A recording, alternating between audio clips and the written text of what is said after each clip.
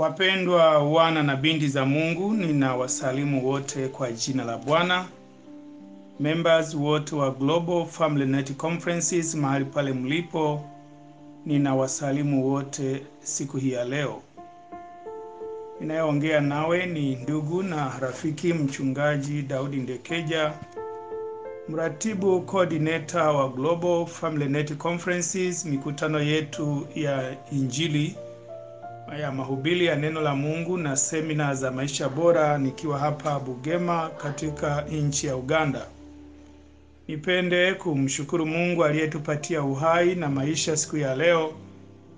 Tumeamkia katika usiku mzito kwa wengine baada ya kupata sima, habari za simanzi za msiba mzito wa mpendwa na rafiki yetu na kiongozi wetu na rais wetu Mheshimiwa Dr. Joseph Pombe Magufuli ambaye amelala mauti jana na habari zake zikatangazwa usiku wa saa tano usiku uliopita.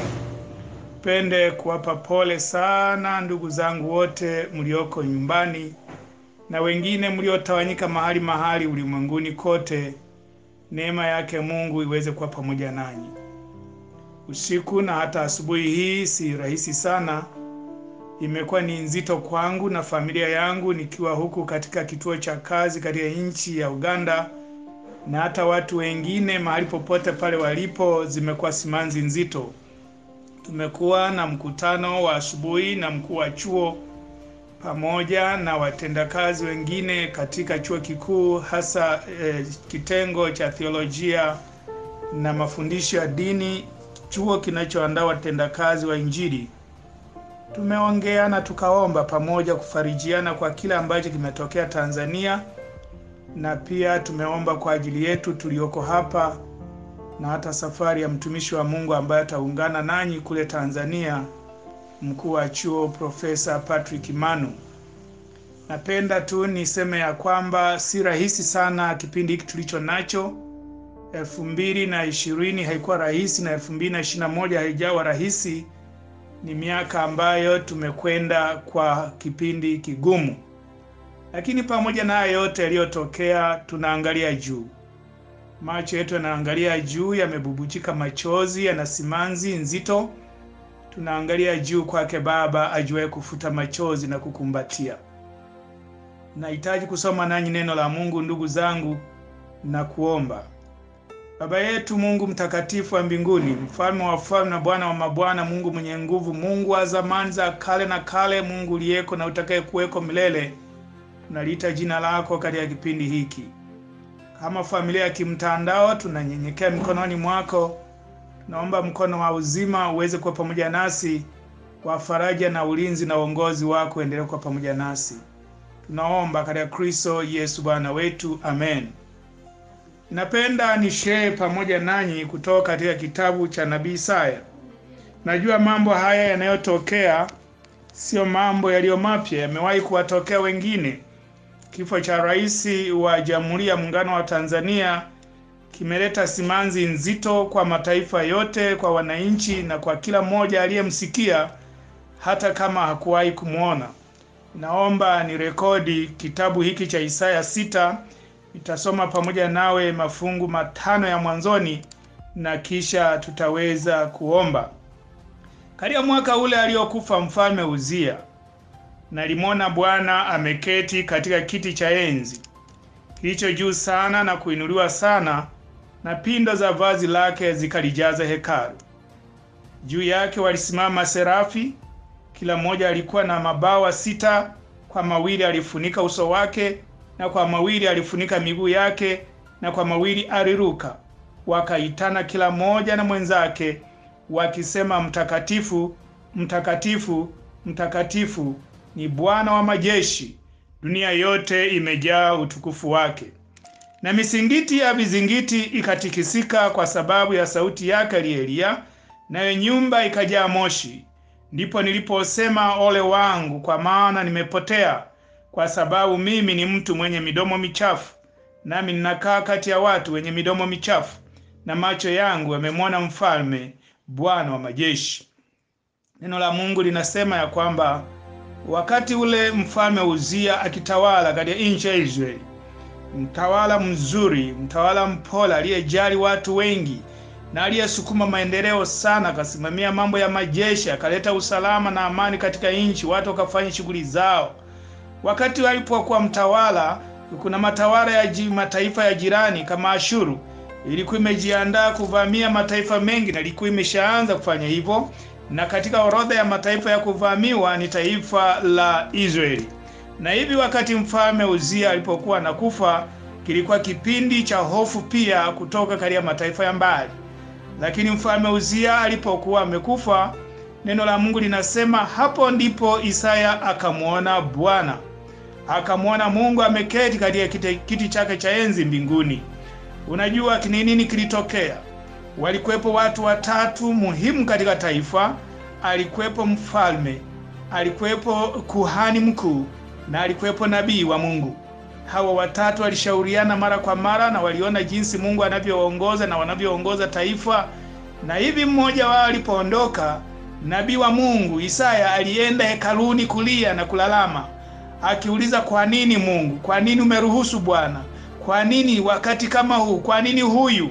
Kwa nini sasa? Tutafanyaje? Maana mataifa ya mbali yanatishia usalama, na hali ya nchi ilivyotulia, labda inaweza ikabadilika hivyo.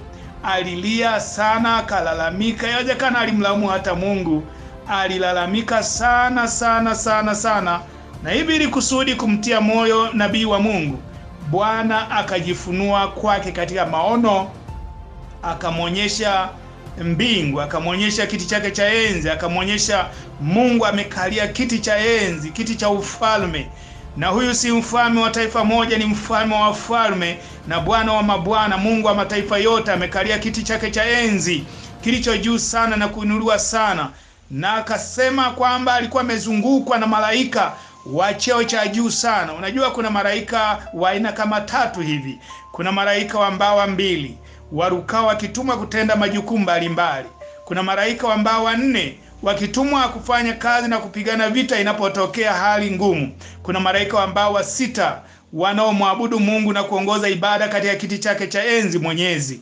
Na hivi Isaya akaona akaona maelfu na maelfu ya malaika. Ndio maana anasema Mungu wa majeshi akaona maelfu na maelfu ya malaika wametawala, wametanda, wameenea, wanatumwa, wanakimbia kuna kule, na mbingu imejaa utukufu, na mfalme wa falme, Bwana wa mabwana amekalia kiti cha enzi. Na hao walikuwa wanaitana, wanamwita, wanamsifu wakisema, mtakatifu, mtakatifu, mtakatifu ni Bwana wa majeshi, dunia yote imejaa utukufu wake, imejaa utawala wake, imejaa mamlaka yake, imejaa enzi yake, imejaa nguvu zake, imejaa maangalizi yake. Na alipokuwa nasikia sauti zikatikisa hata jengo, na ndipo Isaya akalia kilio cha kujiona aibu, kujiona hatia, kwa sababu alisahau maono hayo ya kwamba tunaweza tukawa na rais mwema, tunaweza kuwa na mtawala wakati fulani, tunaweza kuwa na baba wa nyumba, tunaweza kuwa na mama wa nyumba, tunaweza kuwa na viongozi wetu mahali pa kazi, tunaweza kuwa na watu katika jamii tunaowaangalia na kuwategemea, wametubariki. Wanapotoka tunapoteza matumaini, tunavunjika mioyo, tuna haha, tunaogopa hata tunaweza tukajaribiwa kusema maneno mabaya, maneno ya kuvunja moyo, maneno ya kukatisha tamaa. Lakini Mungu alijifunua kwa nabii Isaya, akaonesha ya kwamba yeye anatawala. Nipende kusema nanyi ndugu zangu, katika siku ya leo ya kwamba katika maisha haya tuliyo nayo, wameinuka wafalme na kuondoka, wameinuka wafalme na kuondoka, wameinuka watawala na kuondoka, wameinua viongozi na kuondoka wengine wamepanda cheo wakatuacha mali tulipofanya kazi, wengine wakahama, wengine wakashuka, wengine wakafariki.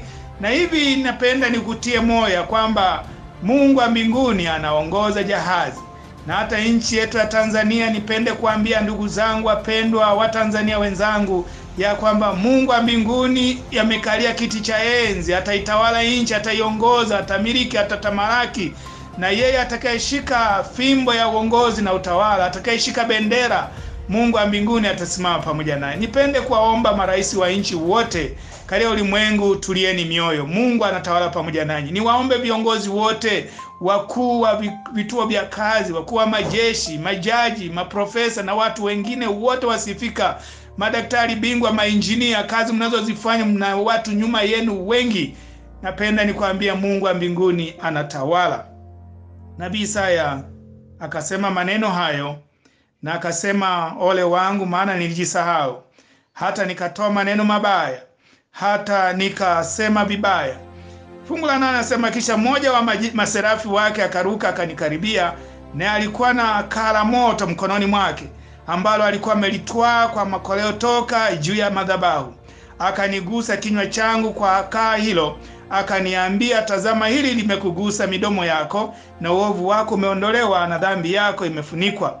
Kisha nikasikia sauti ya Bwana yakisema, ni mtume nani, naye ni nani atakayekwenda kwa ajili yetu? Ndipo niliposema mimi hapa, nitume mimi. Neno la Mungu linasema baada ya nabii kutambua madhaifu, aliguswa na kala moto, alitakaswa na Mungu, alioshwa, akasafishwa. Hebu Mungu atuoshe, atusafishe tunapokuwa tungali hai. Tunaoachwa na kubaki duniani, Mungu atuoshe, atusafishe tukaweze kuwa tayari kwa kazi yake na kwa ajili ya ufalme wa mbinguni. Ikitokea kulala, tulale chini ya mikono yake, na siku ya kurudi kwa Kristo tupate ufufuo wa kwanza na kuingia leo ufalme wa mbinguni. Nabii Isaya alipokuwa ameonyeshwa maono hayo, akamwona Mungu ndiye anayetawala, akamwona Mungu ndiye mmiliki wa wanadamu, akamwona Mungu ndiye mtunza wajane na mayatima na maskini na watu waliotawanyika hapa na pale, mtunza wa viumbe vyote. Akaambiwa ni mtume nani akatangaze habari hii akawaambia watu hawa, akawahabarisha watu hawa, watu wote waliovunjika mioyo, watu wote waliokata tamaa, nani awapelekee habari? Isaya akasema mimi hapa, nitume mimi. Ndugu yangu, napenda nikuombe uweze kuwa mjumbe wa matumaini.